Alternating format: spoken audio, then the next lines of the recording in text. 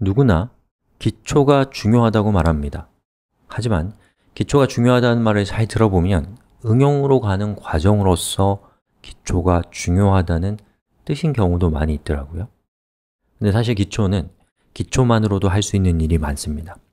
우리는 웹사이트를 만든다는 거대한 목표를 향해서 나아가고 있습니다만 지금까지 우리가 배운 것은 그런 큰 목표가 아니라도 이것 자체로 쓸모가 많습니다 이번 시간에는 우리가 배운 것만으로도 할 수 있는 일 하나 소개해 드릴 거예요.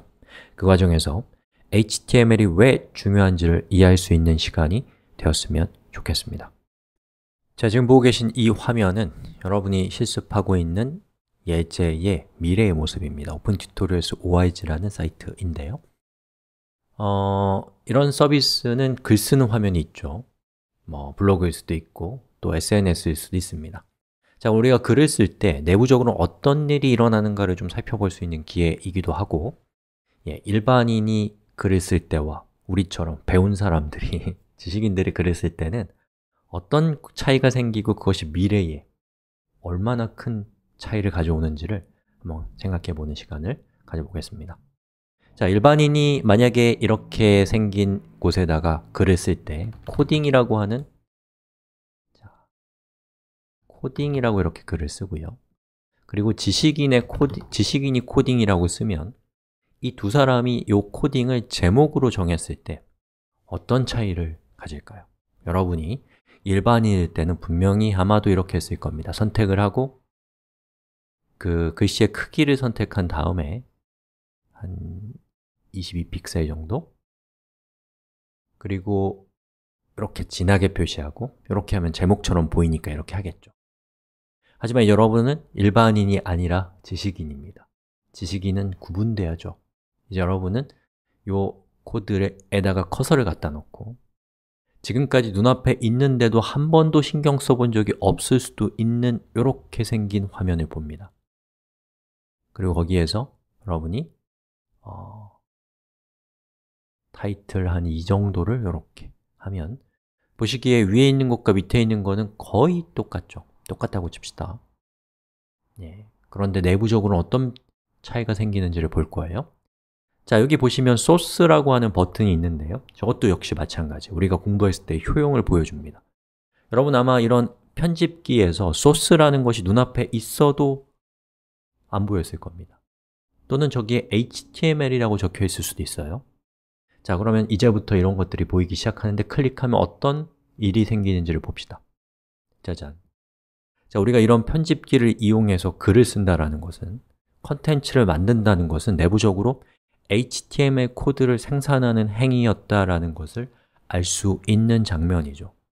우리가 HTML을 몰라도 사실은 우리는 HTML을 만들어내고 있었던 겁니다. 다시 얘기로 돌아와서 자, 여기 보면 일반인의 제목과 지식인의 제목 사이에는 차이가 있어요.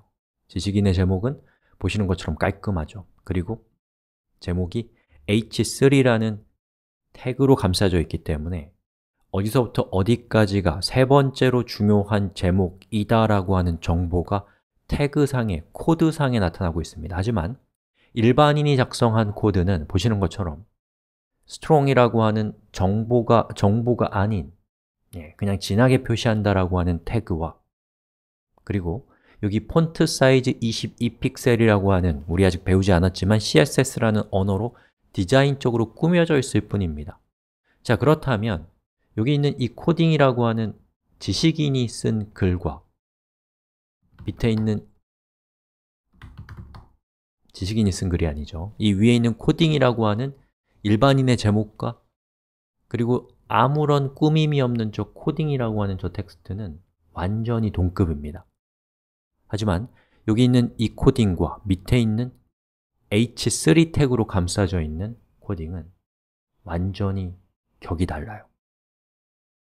자 그러면 우리 이 차이가 별거 아닌 것처럼 보일 수 있겠지만 이것이 얼마나 중요한지를 어, 제가 여러분들에게 설득하는 시간을 좀 가져보도록 하겠습니다. 자, 여기 두 가지 방식이 있습니다. 일반인이 제목을 작성하는 방식과 어, 그리고 지식인이 제목을 작성하는 방식이 있습니다. 이 두 가지를 한번 우리 비교해 볼 건데요. 자, 이 비교의 누가 심판을 맡을 거냐면 검색 엔진 심판을 맡을 겁니다.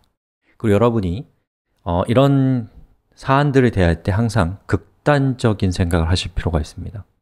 다시 말해서 어쩌다가 제목을 가끔씩 쓰는 것이 아니라 여러분이 10년 동안 정말 부지런하게 글을 써서 어, 여러분의 웹사이트에 1억 개의 웹페이지가 일반인은 저런 방식으로 코딩이 돼 있고 지식인은 저런 방식으로 코딩이 돼 있다 라고 할 때 10년 뒤에 이 두 사람의 인생이 어떻게 바뀔 것인가를 관전해 보십시오.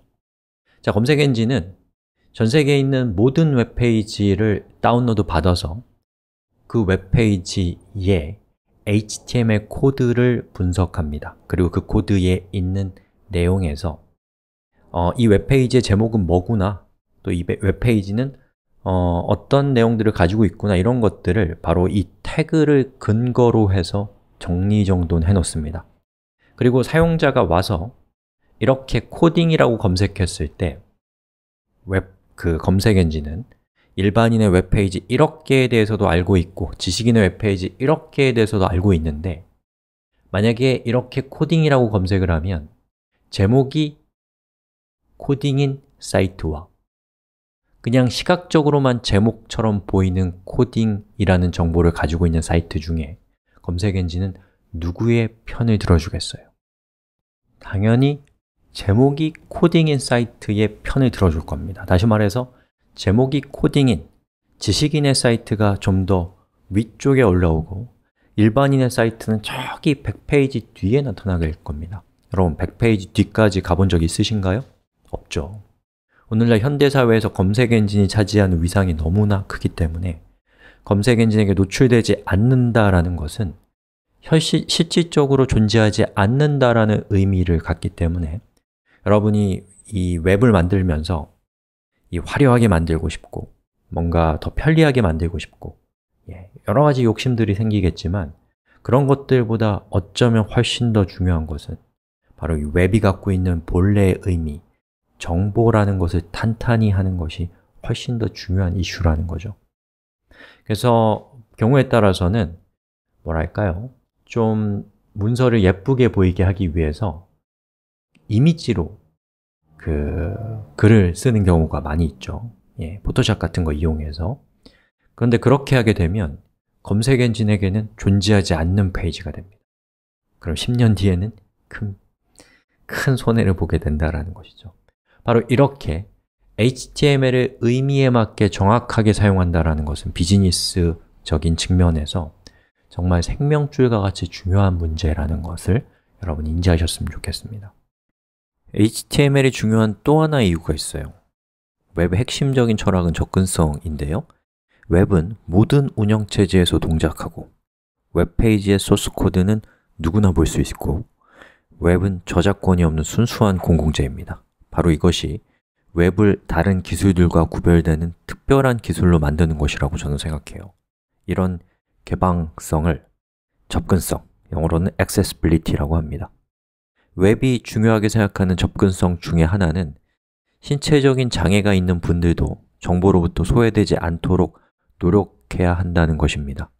예를 들어 시각장애가 있는 분들은 시각적인 정보를 청각화해서 정보를 접하게 되는데요 스크린 리더라는 프로그램이나 각종 보조장치를 이용해서 정보를 접하게 됩니다. 그런데 웹페이지를 만들 때 웹페이지를 예쁘게 만들고 싶다는 생각에서 문자까지 통으로 이미지로 만든다면 시각장애가 있는 분들에게는 존재하지 않는 정보가 됩니다. 시각장애인을 배려하기 위한 여러 가지 기술과 테크닉이 있습니다만 그 중요한 첫 출발은 HTML의 태그를 정확히 알고 의미에 맞게 사용하는 것입니다. 우리가 이렇게 한다면 우리도 모르게 누군가에겐 큰 도움을 주고 있는 겁니다. 이렇게 HTML은 비즈니스적인 측면에서 중요할 뿐만 아니라 휴머니즘적인 측면에서도 매우 중요한 기술입니다